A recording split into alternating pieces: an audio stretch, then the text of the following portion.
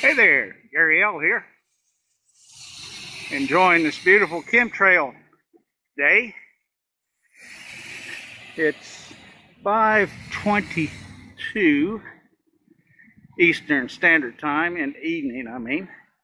And there we are. I wonder what kind of poisons we're being given today. And there's the mysterious X's. See the X's?